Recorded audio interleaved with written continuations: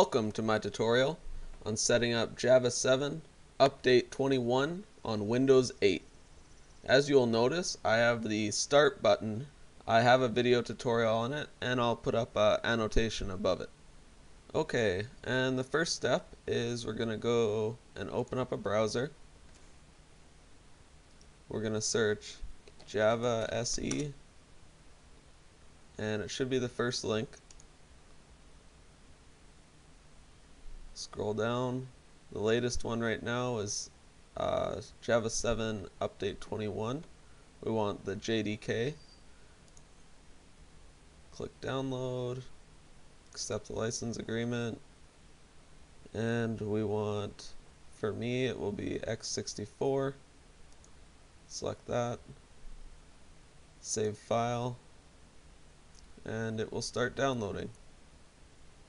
Okay, and now that it has finished downloading, we'll go here, go to our downloads folder, uh, just double click.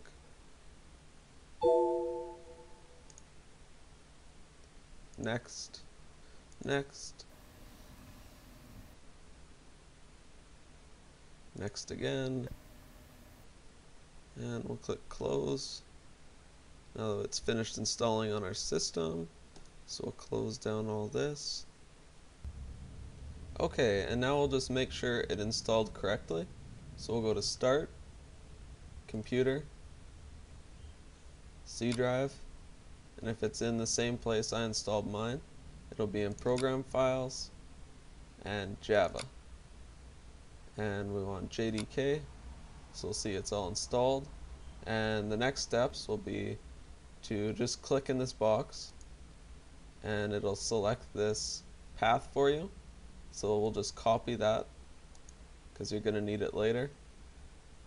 And we'll close that down. Okay, so now that we know it's installed, we're going to have to set up the environment variables. So we'll go to Start, Control Panel, change to large icons, go down to System, Advanced System Settings and click Environment Variables. Okay, so the first one we have to set up is the path variable. So we'll go to this. If you don't see it, you can click New. If you do, then just click Edit. Be sure not to change anything in here, as that could very that could hurt your system a lot. So we have that path copied. So what we're going to do is paste it in, add a semicolon to the front, and follow the path along. And at the end, we're going to put a slash bin. And then we'll just click OK. And the next one we have to set up will be in the bottom. So we'll go down and find class path if you don't see it, click New. If you do see it, click Edit. And make sure the value in the bottom is a semicolon followed by a period. Then we'll select OK. And the next one will be scroll down right here. So we'll select Edit. Or if you don't see that, select New. We'll scroll all the way to the start we'll add two semicolons like that to the front and then in the middle of them we'll paste in our path and again we'll add a slash bin to the end and select OK. So the last environment variable we're going to have to set up is the Java home variable. So if you haven't had Java on your system before, you won't have it. I've removed it so that I can show you how to add one. So we'll go to New. We'll type in Java Home in all uppercase.